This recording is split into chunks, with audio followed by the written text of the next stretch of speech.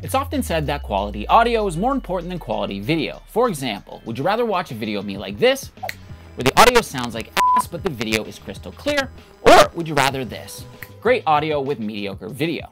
Now, I don't know about you, but I'm taking good audio all day. Now, I say all this because today I have 10 audio hacks in Premiere Pro that I think are gonna change your life. But as always, a special thanks to today's sponsor, Motion Elements, but more about that later. So let's get right into it. So if you've ever watched any behind the scenes video ever, then you've probably seen what's called a slate. Now, a slate does many things, but one of its main uses is for synchronization. The clap sound made when the slate is closed helps synchronize the audio and visual components of the footage. By aligning the visual cue of the clap with the corresponding spike in the audio waveform, editors can easily match the sound with the correct visual footage during post-production. Now, if we don't have a slate, we can simply use our hands and clap. Now in Premiere Pro, you see we have our video footage where we can see our visual clap, as well as some external audio where we can see in our waveform where our clap occurs. Next, we want to put both our clips on two different tracks, then with them both selected, right click and select synchronize. We want to make sure audio is selected so the sync is done based off analyzing our waveforms and matching them up. Now just hit OK and by default the clip that is to the left on our timeline is going to move to the right in order to sync up with the other media file. Because autosync isn't always perfect, what we're going to do next is unlink all our clips by hitting Command or Control L with them all selected. Then head to the sequence menu here and select Show Audio Time Unit. This is going to allow us to manually move our audio tracks in smaller increments so we can be even more precise when lining up our two waveforms to ensure the perfect sync. So with applying video effects, it's pretty straightforward. We search for our effect and drag and drop it onto our video file. Enough said. But with audio, there's a better way to do things. Now, of course, we can just drag and drop our desired effects onto our audio clips, but next time you're editing, try this. Head up to Window and open up the Audio Track Mixer. Here we'll see multiple audio tracks that correspond with the audio tracks in our timeline. What we can do is click this arrow to open up our audio effects and click this drop down to select our effects one by one. As we add the effects to our desired track, we can double click them to change the parameters. Now, remember, this is going to affect everything on audio track one, so we want to be organized in our timeline. It's super important. I'll typically leave the first three audio tracks for dialogue, then another two for music, then like five for sound effects and ambience. Finally, if we want to add an effect to all the audio tracks, just come over to this mix track and add your effects here, which leads me to my next trick.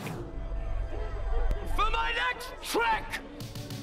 So once we're happy with our video and audio, we can come over to this mix track here and under special, we're going to select mastering. I like to use the preset subtle clarity and then decrease the reverb amount to around 5%. Make sure to play around with your settings here to fit your specific needs, but remember that this is a great way to add that final mastering touch to your audio.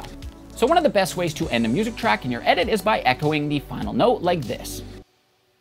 So to do that, we want to find the moment in the track we want to end on and make a cut where the final note hits. It doesn't matter if it's the actual end of the song, it just has to be a predominant note that lingers a bit. Then we'll cut it off before any noticeable beat happens, but because we can't nest an audio clip by itself, we're gonna add an adjustment layer above our ending music section, but make sure the adjustment layer is quite a bit longer than the music clip. Then we want to nest them both together, unlink the nest, and delete the video section. Now we can apply a studio reverb effect and increase our decay setting as needed to get something that sounds like this.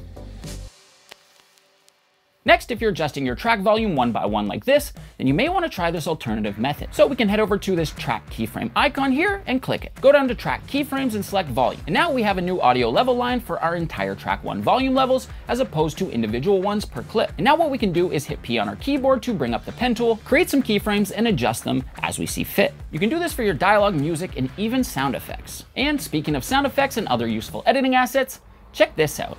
If you're a video editor or content creator, then head over to motionelements.com. They have over 700,000 royalty-free music options, safe for use on YouTube, and that's only the beginning. From stock footage to After Effects templates, they have you covered for pretty much all of your creative needs. They even have an AI scriptwriter that can plan your next video based on a few simple text prompts. And the best part of all is they have free options as well as paid options, so no matter your budget, Motion Elements has you covered. Use code JustinSerran9 when purchasing your subscription for 70% off your first month when you sign up for an unlimited subscription plan. So if you've ever noticed that no matter how low you put your background music volume in an edit, it always seems to either overpower your vocals like this, or it's too low to even notice. Well, here's an easy way to avoid that in the future. First, we're just gonna temporarily mute our music track. Then search for parametric equalizer on our effect panel and apply it to our dialogue audio and hit edit to open it up. Now we can play back our audio and make note of where the parametric EQ is present on our waveform here. So it looks like it's sitting around 700 for this example, so we can close this effects menu and delete the parametric EQ from our dialogue as we no longer need it. Now just search for simple parametric EQ and apply that to our music track before unmuting it. Now what we can do is set our center to around 700 because that's the range our vocals were sitting in. Think of it like you're carving out space for the music frequencies so your vocals can sit there and be more predominant. We can set our Q setting to around 15. This setting dictates how much is being carved out from our music track, and I find 15 works well for most cases. Finally, just decrease the boost setting as needed, and we should have a much better vocal mix. Yeah! So this next trick is gonna help you make any section of an edit you want to be way more dramatic. So let's say I have a clip of someone diving into the water and I really wanna slow down and amplify the moment they are submerged. So the first thing I would do is slow down the footage as they hit the water, but that's just not enough. So what I'll do as well is cut and isolate the section of my background music that matches the underwater slow-mo section. Then I'm gonna search for low pass in my effects and apply it to the isolated music section. Immediately we'll notice our music track sounds muffled, amplifying the fact our subject just dove underwater. Now if we wanna make it even more muffled, just lower this cutoff setting as much as needed, and finally add crossfades in and out of that music section to make the transition even smoother.